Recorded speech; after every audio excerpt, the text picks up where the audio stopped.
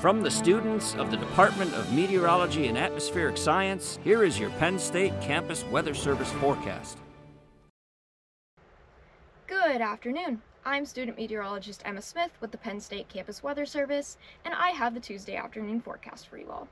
Taking a look at current conditions here in State College, we have a temperature of 45 degrees outside and some relatively calm winds.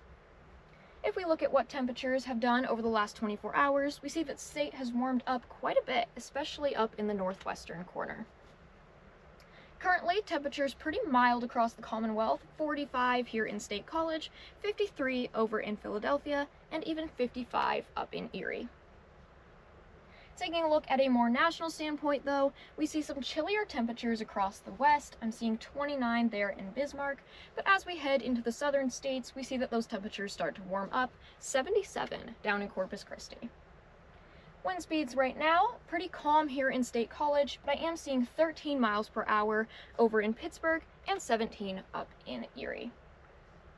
Heading into tonight, we see that wind speeds start to pick up a little bit across the state, and then early Wednesday morning, we see that the western portion of the state starts to get pretty gusty, 38 miles per hour there in Erie.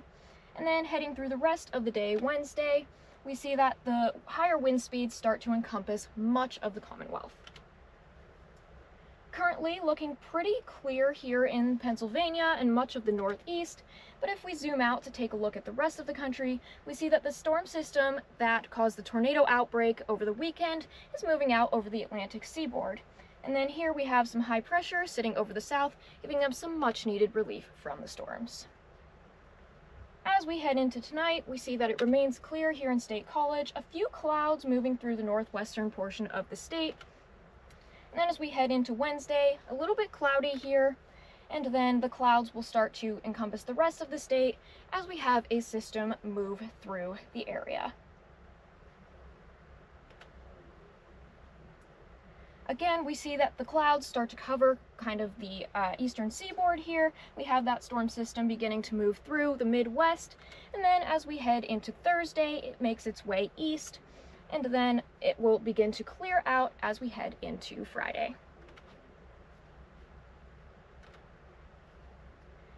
If we take a look at what our pressure is going to be doing, we see that Tuesday night we have some low pressure start to make its way into the Midwest, and then as we head into Wednesday, it starts to make its way to the east, covering much of the northeastern seaboard here, and that is going to be what brings in that bad weather.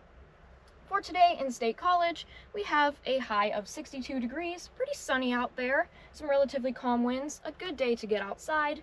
And then as we head into tonight, 41, a little bit chilly with some clear skies and again that calm wind.